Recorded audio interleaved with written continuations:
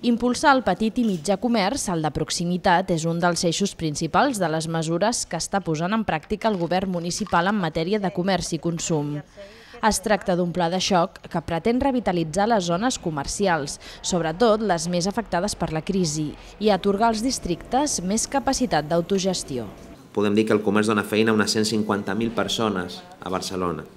El 95% dels treballadors i treballadores de Barcelona s'ocupen en empreses de menys de 10 treballadors no? i no en grans empreses. L'aposta del govern és per una ciutat diversificada, no? amb, amb carrers plens de vida arreu, i això també passa per defensar aquestes petites botigues que existeixen en, el nostre, en els nostres barris.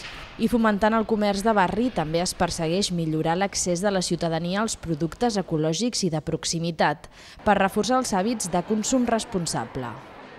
El consistori ha anunciat igualment quina serà la política d'enllumenat de cara a la campanya de Nadal. Es mantenen els recorreguts i els quilòmetres de llums, també els horaris. Això sí, l'encesa oficial no es farà fins a l'1 de desembre, una setmana més tard que en anys anteriors.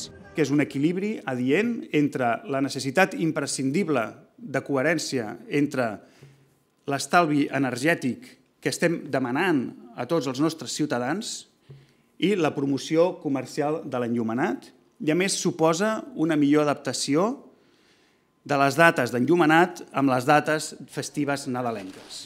També s'explora la possibilitat de posar en marxa una moneda local que afavorirà, diuen, la promoció comercial.